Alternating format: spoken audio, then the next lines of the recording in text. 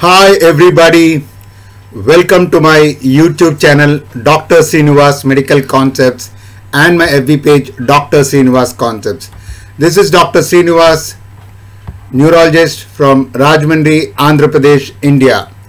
I am also the medical author of the book Focused Neurology. My email is 3klpm at gmail.com. Today we are going to talk about a very very interesting and fascinating topic the localization of Horner syndrome. The localization of Horner syndrome, cranial nerves part 18, oculomotor nerves part 4. In Horner syndrome, the sympathetic dysfunction produces ptosis, miosis and anhidrosis. The sympathetic system the sympathetic pathway originates from the hypothalamus and comes to the C8T1. So this is known as the first order of the sympathetic pathway. The second order comes from the C8T1.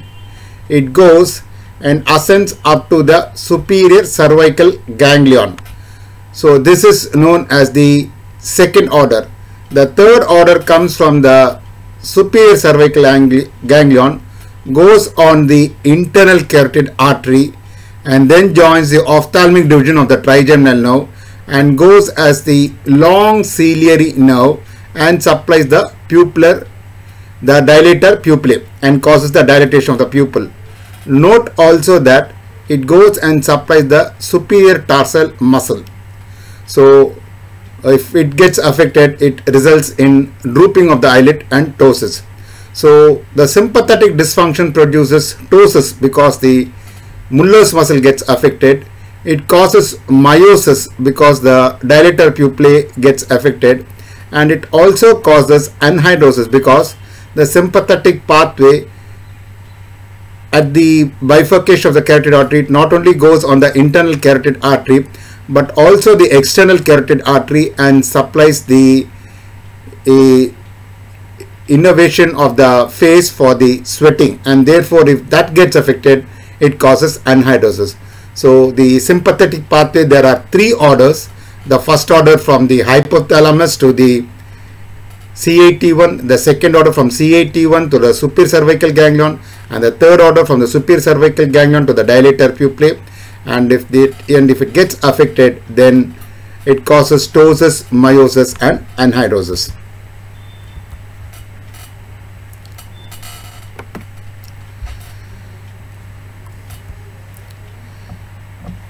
Right, so we have the three orders also.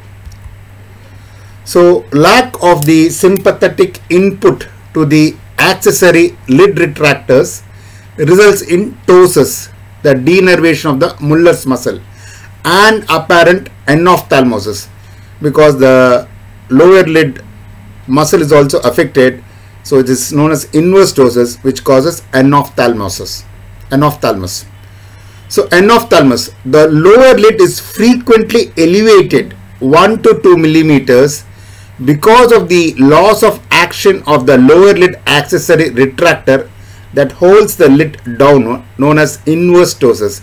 The resulting narrowing of the palpebral fissure causes apparent enophthalmos. So Horner syndrome, it causes that is the lack of sympathetic input causes ptosis, enophthalmos. Yeah, now how do we differentiate the anisocoria from the Horner syndrome and the third nerve palsy using light and dark conditions? Very, very important clinical concept differentiating anisocoria that is the inequality of pupil from Horner syndrome that is a sympathetic dysfunction and the third nerve palsy that is the parasympathetic dysfunction using light and dark conditions. Just using light and dark condition we can differentiate the anisocoria that is the inequality of pupil whether it is because of the sympathetic dysfunction or whether it is because of the parasympathetic dysfunction. So how do we differentiate? Very important clinical concept. In Horner syndrome, the small pupil dilates poorly in the dark. So pupillary asymmetry is greater in the dark than in the light. It indicates Horner syndrome. So when there is inequality of the pupil during darkness, the darkness stimulates the sympathetic pathway and allows the pupil to dilate. But in Horner syndrome, since the sympathetic is pathway is affected, the darkness cannot stimulate the sympathetic pathway and the pupil on that side cannot dilate. So the anisocoria may be there in the normal light but during darkness when the pupil is supposed to dilate it does not dilate the other normal pupil dilates normally and therefore anisocoria increases in darkness. So if the anisocoria increases in darkness that means it is sympathetic dysfunction and Horner syndrome. In contrast the third nerve palsy causes greater asymmetry in the light because of the involved pupil's inability to constrict. The bright light stimulates the parasympathetic pathway and causes the pupil to constrict. So in the normal light there may be anisocoria but when there is bright light when the pupil is supposed to constrict because of the third nerve and parasympathetic dysfunction the bright light cannot stimulate the parasympathetic pathway and the pupil on that side will not constrict whereas the other pupil will normally constrict. So the anisocoria increases in bright light, it indicates parasympathetic dysfunction. So anisocoria increasing in darkness is because of Horner syndrome. Anisocoria increasing in bright light is because of the parasympathetic dysfunction. There can be a normal physiological anisocoria, small difference in the size of the pupil on the two sides. But then whether in darkness or in the light the difference remains the same. So physiological anisocoria produces about the same degree of pupillary asymmetry in the light and dark. So very fascinating concept. Just using light and dark conditions we can differentiate the anisocoria from the Horner syndrome that is a sympathetic dysfunction and from the third nerve palsy that is the parasympathetic dysfunction. So here is a wonderful uh, depiction of the differentiation of anisocoria from the Horner's and the third nerve palsy using light and dark conditions. So on the left side you can see the etiologic factor. On the other side you see the ambient light and then the strong light and the dark and the conclusion. So if you see the physiological anisocoria in the ambient light also there is anisocoria but when there is a strong light both the pupils constrict and in, during darkness both the pupils dilate. So there is a same relative asymmetry under all conditions. Same relative asymmetry and under all conditions is physiological anisocoria. But we see the right Horner syndrome in the ambient light there is anisocoria. In strong light the pupils constrict because the parasympathetic pathway of the third nerves are intact. But in the darkness since the sympathetic pathway is affected the normal pupil dilates but the but the side of the pupil where the sympathetic pathway is affected it cannot dilate. So the asymmetry there is more asymmetry in the dark the abnormal pupil cannot dilate. See here the abnormal pupil does not dilate and therefore the anisocoria is increased in darkness that suggests Horner syndrome Whereas if it is third nerve palsy, again in ambient light there is anisocoria, but in the strong light the normal pupil constricts whereas the pupil where there is a parasympathetic dysfunction of the third nerve does not constrict and therefore the anisocoria increases in the strong light but the darkness there is no there is no asymmetry. So the more asymmetry in the light the abnormal pupil cannot constrict. So if there is more anisocoria in the strong light, it indicates third nerve dysfunction. The more anisocoria in the in the darkness, it indicates the Horner syndrome. Whereas the same relative asymmetry on all, under all conditions is physiological anisocoria. Right. So I in the first slide I mentioned the first order neuron, the second order neuron, the third order neuron. The first order neuron descends from the hypothalamus through the brainstem and upper cervical spinal cord that is till the C8T1. So if there is a lesion anywhere, the first order neuron gets affected. Example, it traverses through the brainstem and therefore lateral medullary syndrome is a classic example of the first order neuron being affected in the Horner syndrome. So in the second order, it is from the C8T1 till the upper thoracic spinal cord. So second order neuron lies in the intermediolateral gray column of the C8T2 of the upper thoracic spinal cord that is the ciliospinal center of Budge. Axons arch over the apex of the lung and synapse in the superior cervical ganglion. So a classic example of the lesion of the second order neuron causing Horner syndrome is apical lung tumors. Whereas the third order neuron ascends from the superior cervical ganglion and continues to the pupillodilator muscle on the internal carotid artery. Again a classic example of a lesion of the third order neuron is the internal carotid artery di dissection. So we have the first order neuron from the hypothalamus to C8T2, the second order neuron from C8T2 to the superior cervical ganglion, the third order neuron from the superior cervical ganglion to the pupillodilator muscle.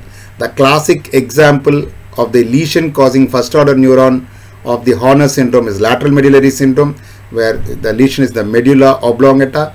The classic example of the lesion affecting the second order neuron is the apical lung tumor the classic example of the lesion affecting the third order neuron is the internal carotid artery dissection. Yeah, now comes the very fascinating topic how to localize the localize the the three orders of the Horner syndrome localization of Horner syndrome to understand this we need to understand an important concept with the first and second order Horner syndrome the third order neuron is disconnected but intact and its terminal connections are sound and viable. So with the first and second order Horner syndrome, the third order neuron is disconnected but intact and its terminal connections are sound and viable. But with the third order Horner syndrome, the final neuron in the pathway dies and its peripheral processes atrophy and disappear. So if we know these uh, two concepts, now we can localize the Horner's syndrome. The localization of Horner syndrome is done by two pharmacological uh, drugs, one by using cocaine and second by using hydroxyamphetamine. Cocaine confirms the Horner syndrome but does not localize the Horner syndrome whereas hydroxyamphetamine localizes the Horner syndrome. First we need to confirm whether the Horner syndrome is present or not. So how do we confirm? We confirm it by a drug called as cocaine. When we use cocaine, it blocks the reuptake of norepinephrine, increasing its effects and therefore cocaine drops instilled into the eye dilates the normal pupil but not the pupil of Horner syndrome and confirms it but cannot localize it. So cocaine dilates the normal pupil but cannot dilate the pupil of the Horner syndrome and therefore when the cocaine does not dilate the pupil, it confirms the presence of Horner syndrome, but it does not localize the Horner syndrome. So confirmation of the Horner syndrome is done by cocaine. The localization of Horner syndrome is done by hydroxyamphetamine. Hydroxyamphetamine drops causes release of norepinephrine but only from intact nerve endings. So if the third order neuron is intact, as with the first or second order Horner syndrome, the pupil will dilate in response to hydroxyamphetamine. but in a third order Horner syndrome, there are no surviving nerve endings in the eye to release norepinephrine and the pupil will fail to dilate. So this is the uh, depiction of the localization of the Horner syndrome using cocaine and hydroxyamphetamine. So when we put cocaine, it dilates the normal pupil, but it does not dilate the pupil of the Horner syndrome, whether it is first order, second order or third order. So when we put cocaine, when there is no response, whether it is first order, second order or third order, it confirms Horner syndrome. But to localize Horner syndrome, we use hydroxyamphetamine. If the first order is affected or the second order is affected, hydroxyamphetamine still dilates the pupil because the third order is intact. But the moment the third order is also affected, when we put hydroxyamphetamine, it does not dilate the pupil. So if hydroxyamphetamine dilates the pupil, the lesion is in the first order or the second order. If it if it does not dilate the pupil, it means the lesion is in the third order. So two pharmacological substances we can use to confirm and localize Horner syndrome. First is cocaine. If the cocaine does not dilate the pupil, it confirms Horner syndrome and second is hydroxyamphetamine if dilates the pupil it could be the lesion could be the first order or second order if it does not dilate the pupil, that lesion is in the third order. So with just these two substances, cocaine and hydroxyamphetamine, we can localize the Horner syndrome. So these are the fascinating concepts of localization of Horner syndrome. The other fascinating neurology concepts I have put in a book called Focused Neurology, uh, written by me, Dr. S. Sreenivas. It is available online from all leading booksellers, including Amazon. If interested, it could be bought online. So these are all the fascinating concepts of the sympathetic pathway, the first order, second order and third order and the Horner syndrome and the localization of the Horner syndrome. If you have enjoyed listening to this lecture, please like and share the video with your friends. But please subscribe my YouTube channel, Dr. Sreenivas Medical Concepts and my web page, Dr. Sreenivas Concepts. Thank you. Bye.